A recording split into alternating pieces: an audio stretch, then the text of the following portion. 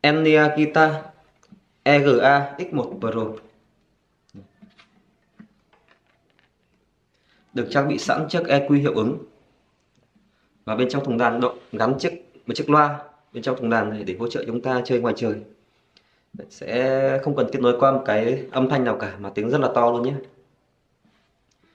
Đấy, giờ mình sẽ test âm mộc của đàn này trước và sau đó mình sẽ test tiếng EQ sau.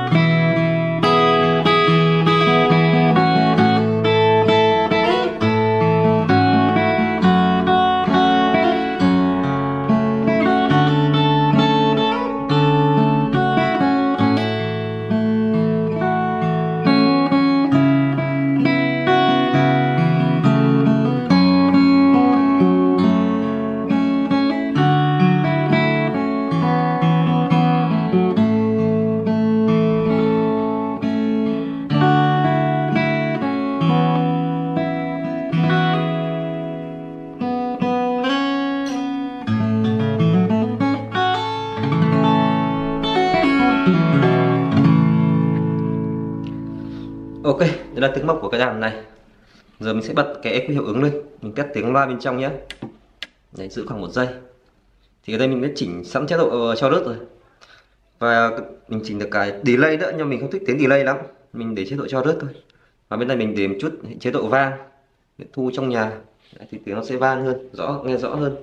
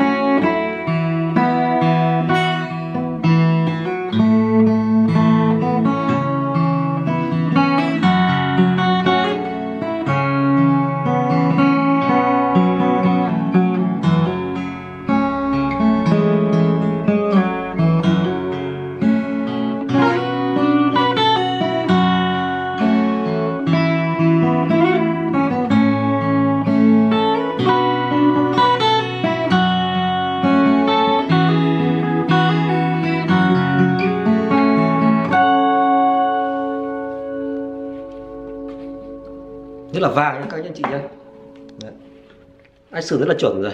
Giờ mở capo ra, có thể quan sát ách sừng của nó đây? Đây. Sừng thấp nhá, bấm êm tay mà không bị rè luôn. Đấy. giờ sẽ thử cái hiệu ứng bluetooth của cái đàn này nhé cái nối bluetooth này.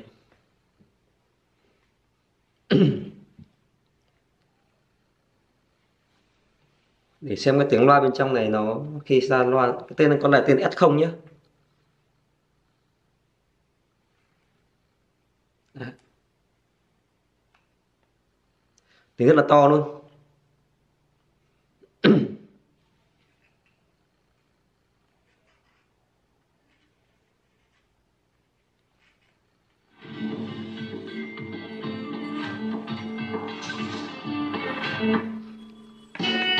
đấy.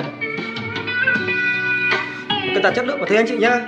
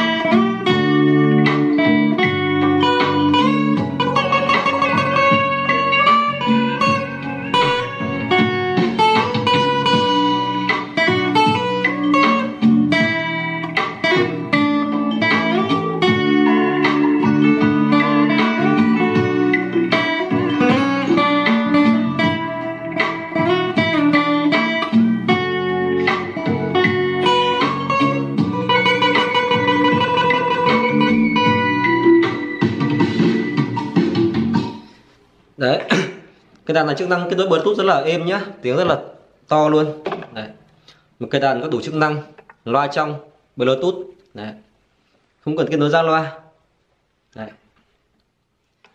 Ok.